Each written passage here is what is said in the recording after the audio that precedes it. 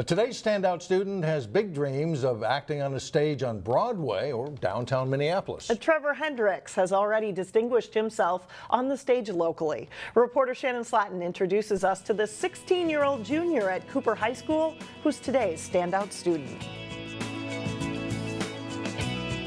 From a lovable cast member in Annie Jr.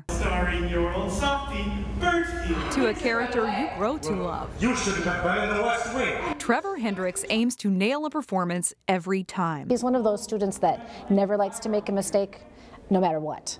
So he perfection is always what he's aiming for. Trevor has been acting and performing since third grade. My mom wanted me to audition for a production of Music Man at a local theater and I did it and I fell in love with theater and I've been doing it ever since. Recently, he's performed with Stages Theater Company and he brings that experience back to the stage at Cooper High Makes School. our environment that much more rich because of what he's able to bring to it from his outside experiences. Beaver, would you pipe down? You're making me nervous. Trevor is a regular in Cooper Productions and he's also captain of the improv troupe. What's cool about Trevor is that he'll try a bunch of different things on stage and we'll go, Trevor, no, not working so much. He'll go, okay, let me try this. Um, Trevor, try this instead. Okay, let me try, I'll try this. Can I try this? And he'll always ask. He's a questioner and a processor. That extends to his performance in the classroom too.